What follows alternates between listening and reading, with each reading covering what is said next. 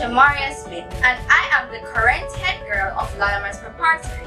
I met many interesting and amazing people. They gave me a warm welcome and showed me around.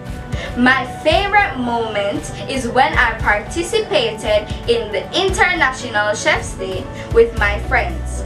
My greatest achievement is becoming head girl. It is a really noble responsibility. To become head girl in high school. I would recommend this noble institution because it is well-rounded.